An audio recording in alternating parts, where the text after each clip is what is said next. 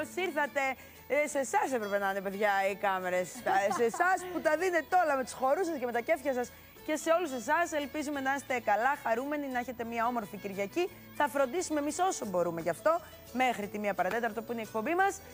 Τι κάνετε, Εσύ τι κάνεις, πώς είσαι; Έχω κοιμηθεί πολύ λίγο. Γιατί μιλάμε έτσι. Και ευτυχώς που ξύπνησα, λέτε.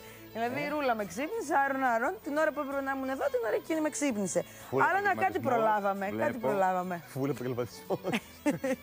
Ε, εντάξει, ρε παιδιά, τι να. Άκου Συμβαίνουν φωνή αυτά. τώρα, ναι. Συμβαίνουν. Είναι λίγο. Χτες, ε, εκτός από το ότι γιόρταζε όλη μου η οικογένεια, γιόρταζε και η Ντορέτα. Ναι. Οπότε πήγαμε το βράδυ, βγήκαμε έξω, ξεσαλώσαμε λίγο.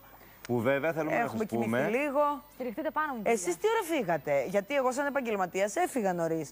Εσείς... Όταν λες νωρίς, Επαγγελματίες, το τέσσερις. 4,5 ώρα δεν Ναι. δεν σε λες. Το θέμα είναι ότι σας άφησα εκεί όμως. Ε, εντάξει, εμείς είχαμε και να τελειώσουμε και ένα χορευτικό. Είμαστε και νεολαία. Χορέψαμε ε, μέχρι εκεί. Εσύ δεν μιλάς, δεν μιλάς τώρα.